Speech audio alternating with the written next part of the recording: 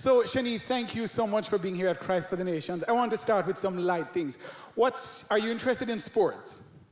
I am interested in sports. Favorite sports team? Oh, no. so I actually like playing sports. I, oh. I watch people. I'm sorry. You know what? Let me just say my husband is a football fan, and he watched the Cowboys last night. I actually drove by the stadium. Yeah, yeah. I'm sorry, guys. He was just watching, okay? So I was driving by, and I was like, there it is. You're watching it in Israel, and I'm not watching. I'm just driving by. But uh, yeah, so I, I don't actually have time to watch sports. I do apologize. But um, I do have some very, very avid soccer fans on our team in Israel. Mhm. Oh, okay. So, did you play sports any at all? I did. Okay, I did. which- which Uh, I played basketball, did track and field, uh, Track and field? some field hockey, and yeah, volleyball. Volleyball? Some- yeah. Favorite movie? Favorite movie? Oh, I have to confess this? Okay. Confess it. Um, favorite movie? You know, my daughter asked me this the other day, and I was like, I guess I would only pick my favorite movie by a movie that I've seen more than once. But uh, honestly, anything in the Marvel verse. I, I did put my limits on Doctor Strange too. Didn't didn't go out for that one. yeah, that last one, that No, last one was no, terrible, wasn't no, it? It was. I so did not like it. yeah, I'm I. I like sci-fi. I, I stop at the, you know, the, the witches that want to send you to hell type thing. Yeah, that kind of thing. Sorry. Okay. I know it's in a different universe that they're doing it, but it's still, yeah. All right, what about favorite food? We're just trying to get Favorite to know her first. Favorite food. I'm, I'm a big fan of the shawarma. Shawarma. Okay. Yeah. Yeah. Bias? Uh, what's a shawarma? No, I- no, I know shawarma. I'm saying I know you. cultural bias. Cultural bias. I'm just Oh teasing yeah. you. Well, it's just you get meat and you get fresh salads and it's and it's like very readily available in Israel. So, but I'm a very big pasta fan as well. Travel destination, favorite place that you've been? Favorite place I've been. Okay, my favorite beach is Galveston, Texas. I know, I know. you need to I go know. to Jamaica, No, Galveston, no. Texas. I yeah. Look, I live in Israel. What am I going to say? The Holy Land? No. I'll tell you why. I'll tell you why for all of you haters out there, okay? Because I'm a desert creature, which means it doesn't rain in the summer. And when I went to Galveston, Texas, it's this long straight beach with nobody. Okay, I live in a country where everyone's like this. Okay, oh, there's nobody there. And it rains and I'm drinking Starbucks coffee and I'm like, this is a beautiful moment. Okay, so all of you have these beautiful Jamaica vacations, which I can't afford to go because I'm in the mission field. I- Okay, okay, it's all right. One of these days, you guys can send me there, and I will tell you all about the Caribbeans and how much I love them. But in the meantime, although Switzerland, I'm a big fan. I'm a big fan. In fact, when I went to Switzerland, I had a revelation that when God said He gave us the promised land, that's all He meant. It was the promised land, not the best land, just the promised land. Okay, so Switzerland is yeah, definitely up there. Are you a Netflix Netflix fan or no? Uh, honestly, when it comes to Netflix, I only watch if I'm on a on a run or something. I oh, can't like sit and watch, mm. and I pretty much just try to figure out what it is my kids were watching and check up to make sure it's not too terrible. So oh, that's that's the extent of my sorry. No, no, that's fine. You're Yeah. you're busy. What about favorite book? Favorite book. My favorite author is Michael J. Sullivan. Okay. Oh, who knows him? You. I want to talk to you at the end. Okay. no.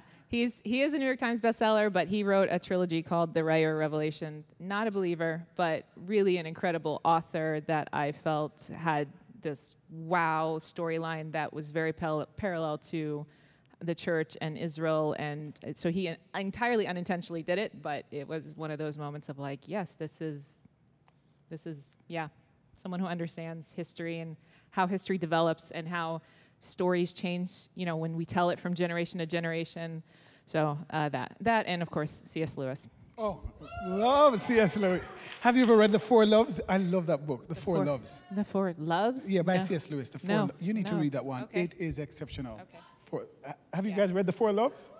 yeah Revolutionary. So uh, read full, full disclosure i don't actually i'm a writer for a living i don't actually read because i don't have time but i do audiobooks so anything that i can find um, audible i i devour in terms of cs lewis Oh, okay.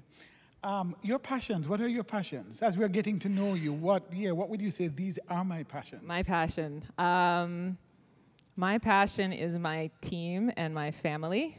I have five kids and a husband at home. Uh, and uh, I have a team of 20 Israelis uh, that are make up the Maoz Israel team. Uh, we also have offices around the world, and I love to see them grow into who they're going to become. That's really like the thing that makes me the happiest when someone comes from the outside and they're like, I know so and so. And ever since they've been involved with you guys, they're just blooming as a person, blooming in their gift. Um, so that's something that makes me very happy. And of course, music. I was about to say that. I'm I like, where is singing in all of this? People first, projects later. Oh, Ah, come on. I like yeah, that. yeah. I like that. Um, so yeah, we have a recording studio in Jerusalem, and uh, we have a team of 20 Israelis that are they work in media and music. Um, essentially, really have a vision to see the restoration of modern day Levites or modern day psalmists, um, writing worship in Hebrew, also Arabic. Um, and really want to see the Holy Land filled with worship. And so that's something that's very much a passion of mine. Passion for yours. Okay. What about idiosyncrasies? Because we all have those. We might have the passion, we, we definitely have passions, but the idiosyncrasies, those unique things about us that, you know, really defines who you are in a unique way. What are those? Um, or one or two? I would say one of the ones that gets mentioned the most is that I sound American, but I'm not. and so, inevitably, I'm, I mean, I'm born and raised in Israel. Uh, in the fourth grade, my parents flew to the States. We actually stayed here at CFN for two years. My, my brother went to a special school because he was dyslexic and ADHD, and he was in the fourth grade and couldn't spell his name, which was three letters. And so uh, he came here, and during that time, I lost my Israeli accent, um, which has been uh, both a blessing and a curse in terms of my credibility as being a ministry leader in Israel and saying I'm Israeli, and they're like, no, you're, Amer-" and then I don't know the American social rules, and so inevitably I say something, and they're like, "That is the rudest American I've ever." And I'm like, "No, no, I'm a nice Israeli. I'm not a rude American." So uh, that is something that that is uh, noted often unintentionally. So apologies ahead of time if I say anything from up here that's like, "Why did she say that?" Well, You're good with the accents. I mean, for you to I, up I do special for you. It's really, it's good, good, American, lovely country. We love you, Israeli, Israeli special. That's good, isn't it? Yeah, that's good. All right. Um, tell me a little bit about you being the granddaughter of Gordon and Freda Lindsay. You have, you know, you were born into a family that's well known, well established, beautiful history, rich legacy.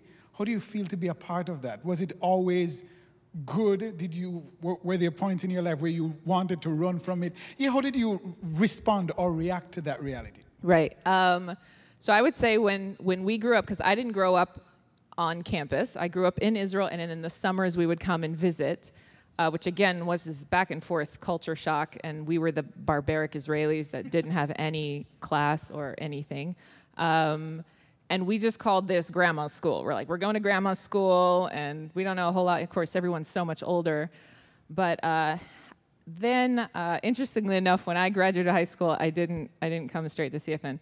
Um, I, You need to repent. uh, no, I did. I did eventually end up here, but there was a revival going on in Pensacola, Florida, and um, and I went to school there, and I actually learned more about my grandparents there than I did just growing. Because you know, when it's family, you're feeding and you're you know stop hitting each other, and you know that's the conversations. And then I go over there, and they're teaching all this stuff, and there's like all these books that if you go to the footnotes, it's like Gordon Lindsay, Gordon Lindsay, Gordon Lindsay, Gordon Lindsay, because he he documented so much of what was happening. He was so involved in like working together and collaborating with you know different people, which was a big no-no back then. It was like you do your own thing. Someone from a different denomination, you don't talk to them because clearly one of you guys is going to hell. So like it was just it was just this very kind of uh, separatist kind of uh, attitude, and he very much wanted to work with all sorts of people. So, and he he was a writer as well, and he documented a lot. So, I gained a real appreciation of the impact that he had outside of the circle of CFN when I went there. Yeah. So. Um, so yeah, so basically at that point, um, when I finished there, then we came here and spent uh, two years doing the third year worship uh, school right when it was getting started, uh, and got to spend some time with my grandmother. Um, knowing that you know at some point I wouldn't have that, so that was very very special time for me, and um, yeah. So I, I really on my dad's side, my my grandmother was from Russia, and my grandfather is from India. And so I know I came out white, but it's, it's all. Uh, my brother came out dark. know that. You have yeah, I tan well. I tan well. I do. um, but we don't, we don't actually know what my dad was because he grew up an orphan and he's got curly hair, and Indians usually have straight hair. Anyway, so we're kind of like somewhere in between Africa and, and India is, is our origin. Um, but in any case, uh, I was never close to my family on his side because he grew up so disconnected from them. Uh, and so, really, on my grandmother's side, that was I only ever had one grandmother. So it's like, how do you even beat that? Like, my only concept of a grandmother is someone who never retires, is always like doing something, is known to everybody else as mom, you know. Um, and and still, she found time for us, which I really appreciated. Uh, yeah.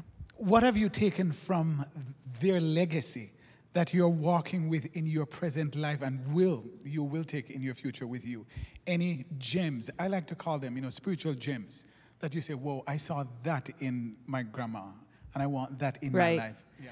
Um, I think the biggest thing that I've taken away that has kind of been passed on to my parents and um, I think also to um, the rest of the family is that our we understand our destiny as helping other people reach their destiny.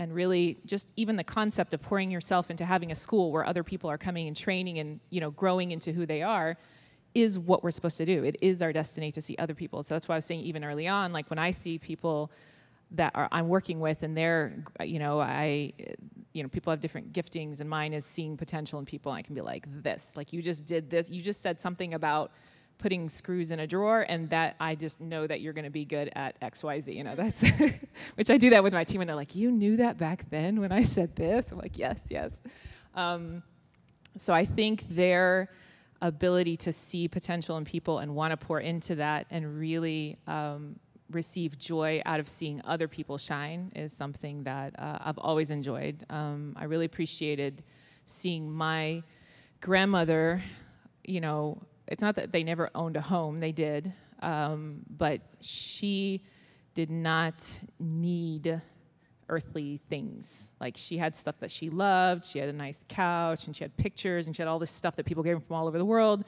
Um, but uh, she she just you know when I I I don't fault other people for having nice things because I you know you see Solomon and you're like God bless Solomon. And oh my gosh did you guys ever read what he did with his like throne with the six lions and so there's like there's nothing wrong with someone who's successful on that end.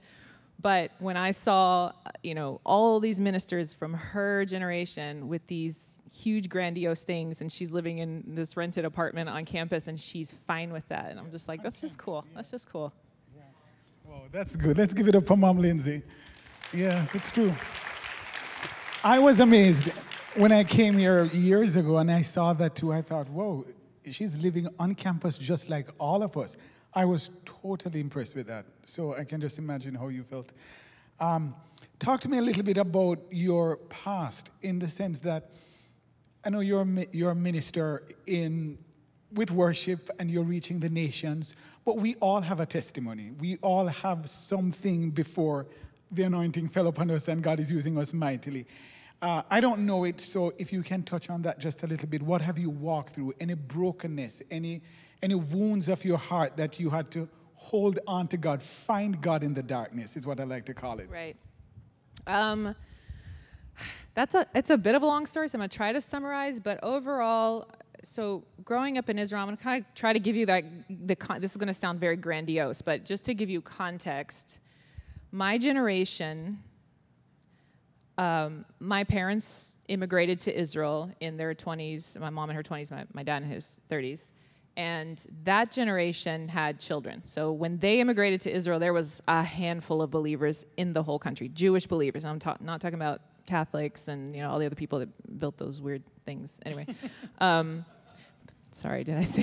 Is this online? No, it's not. Um, but my generation was essentially the children of those who immigrated. The first generation of Jews who were believers who were born and raised in Israel in 2,000 years.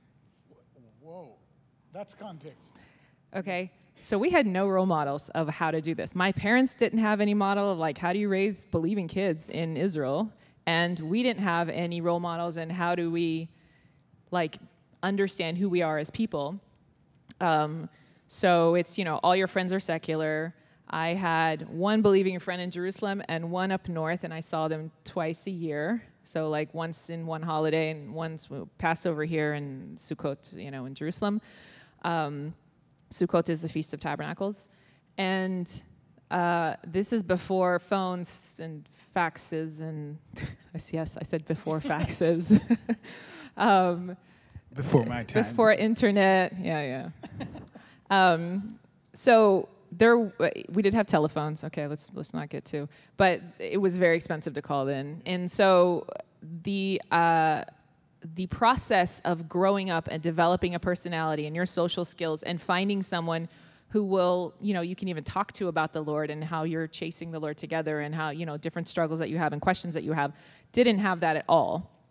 Um, and so I think uh, somewhere around my teen years, it was really this abrupt shock of we, we moved to the States for two years, and suddenly I'm in this Christian bubble. And mind you, when I say Christian bubble, I know that it was all sweet, but as an Israeli who didn't understand Christian culture, I got in trouble all the time for saying all sorts of stuff, and I'm like, what? I don't even know. It's like they're like, you spend a lot of time on the fence, like at recess, right? They put you on the fence when you're in trouble, so you can watch everybody else play. Because the best thing to do with a kid that's causing problems is not give them any time to get their energy out. You know, just make them stand there. And anyway, um, so yeah, some of you guys that got there, you're like, huh, no, that is that is kind of dumb. Um, anyway, but the the thing was is I went from I'm the only believer in my school and I'm proud of it. And I will tell you that I was born twice. Let me tell you in Hebrew, saying you were born twice sounds just as dumb as it just you know, not not born again. You were born twice. And then my teacher would come and be like, "Can you explain to me this you're born twice thing that your parents are telling you?" And I'd have to sit and explain, and then they'd call and uh, and then I come to the States and I go into this Christian bubble where everybody's a believer. And, um, but nobody really understands my culture. So my, my fourth grade teacher, when they had the parent teacher meeting, she's like, Your daughter is very um, so Jewish, you know? Was like, What does that even mean? like, what do you even define as Jewish? I think she just meant rude and, and wild and barbaric. But anyway, um, so it was just just so you understand why I keep saying that. In Israel, let's just say in the states uh, or in Western culture, when you want to honor someone and show them respect, you want to make them feel good, right? Yeah, that dress looks great on you, even if it doesn't. You know, like yeah, that's you're you're gonna do a great job, even though you know they probably won't. Like that kind of thing, right? So in Israel, we honor you by letting you know what we really think, right? and it's that's our way of saying I care enough about you to let you know no, that dress doesn't look good on you, but you could look great in something else. Let's go find something. So, in any case, in in this this Dallas culture, they didn't so much appreciate that. They thought I was trying to be rude. In any case, um, so I go from two years of this bubble back to you're the only believer in your city, uh, right around 12 years old. If you guys remember what 12 years old was like, is not a good time to, to make that shift. So Transition. I would say between 12 and 15 was a very significant crash and burn. Um, so you, you, crash and burn, let me pause you right there. So in a very detailed, detailed sense, did you like renounce your faith? Did you, um, you know, vacil- va- vacillate? Vacillate between. Vacillate the word. Yeah, yeah. yes, between both. Yeah. What was it exactly like? Um, you know, it's it was three decades ago, so I'm, I am trying to remember. But it was definitely a time where I wasn't sure what I thought. I remember a moment in which there was a girl that knew me from the second grade when I was super bold and super, you know, like whatever. And I would just talk about the Lord all the time.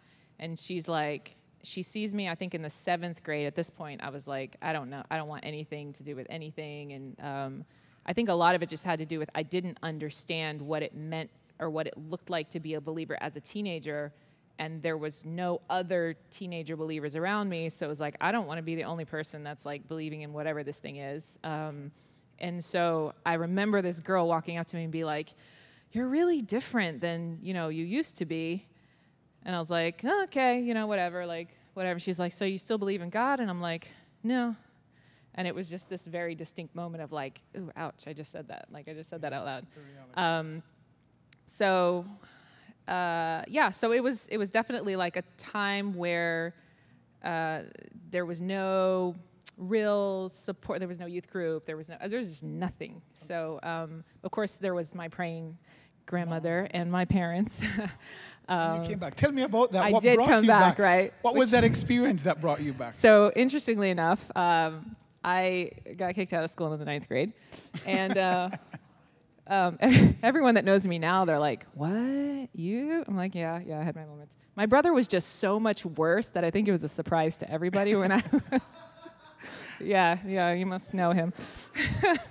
um, he was just a tornado. I mean, he's like 40 something now, and he's still a tornado. But um, he's just, he's really just a genius, brilliant. And so, if you've ever been in the room with a brilliant person, they just, they, you don't even exist really, because they're, they like exist on this upper echelon of. feet up there, yeah. Yeah, picture being in the room with, with Elon Musk, and it's like, do you have, do you even have a conversation with him, or is he already on Mars? So, um, anyway, so I, my parents were like, you know what? We want, we want to send you out of Israel for a year. Give you a break. It is very spiritual. How many of you guys have ever been to Israel? Okay. Uh, how many of you guys have ever been to Israel for more than just a tour?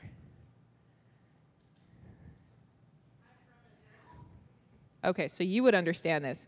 Israel is when you go on a tour, we ha- you generally experience what we call tourist grace. It's beautiful, it's amazing. You're getting all the like angels singing and the holy and like Jesus walked here and like no, it's legit. It's like you got the tour taking tour guide like taking all the hits for you. You don't even know what's happening, all the chaos. Like you seriously, it's just like your room. There's air conditioning, there's food, there's shawarma, Yeah. and um, and then you come home and you it, like they create this space for you to experience something that is beautiful in the Holy Land. If you live in Israel, it's a very different experience. It's a very difficult culture, which I just remotely described. Even when you're trying to be nice, like it's hard. So just think when you're not. Uh, and then you it's spiritually intense. It's ground zero of everything that's ever going to happen and culminate is there. And you're feeling the intensity of like islamic trying to you know come there's this battle over who's going to be worshiped on this land that god said he really likes. And so of course if god says he really likes something then the devil's like you can't have it you can't have it. So there's this constant intensity that you're just growing up around constantly. So they were like, you know what, you might do well to go just take a break, take a year, take a break. And so they sent me to East Texas. Oh. Uh, yeah, Was that what was that YWAM? East Texas. no, it was not YWAM. Oh, okay. Uh, it was a place called Heartlight. And really, it's this ranch in the middle of Nowheresville. And if I had trouble in Dallas trying to understand the culture, in Hicks, Hicksville, where there was population, two shrubs and a tree, and one stoplight, okay? One stop. Yes, yes, okay. So it was in Hallsville, Texas. And, um, and it was basically like a year. We went to public school, and it was my first experience in American public school in high school. There's like a thousand something students and these So huge. it was a culture shock for you. It was culture shock. The problem was is nobody explained what culture shock to me was. So I was like 20 something when I realized why I got in trouble all those times like a decade before. I was like I was having these moments of like, oh, when you say this, it means that to them. Um, so yeah, so again, I got in trouble a lot because, and I had no idea why, and it was all that. But uh, I remember my mom saying because every Sunday they would send you to a church. Yeah. And at first they were sending me to I don't want to name denominations because I'm not looking to insult it, but it was basically these very boring churches. And they had these high pews, and I would always sit like on the side because I could lean my head and fall asleep without them actually being able to tell from uh, from the stage. And then uh, my mom was like calling them. She's like, I really want my daughter to go to a spirit filled church. I really, it matters to me. Um, I think it's going to make a difference. And I just remember, and I was the only person that they, they found someone that would come and give me a ride every Sunday and make sure that I went to this church. And, um, and I would uh, just experience the presence of the Lord in worship. And it wasn't like I was worshiping; I was just standing there, and it Okay, it felt like this physical embrace. I'm just standing, and it would be like week after week after like he's wearing me down, you know. So it wasn't even like there was a moment. It was just at some point I just found myself back in the arms of God arms of type God. thing. Whoa, Yeah. amazing. Yeah. Amazing. Whoa, that's good.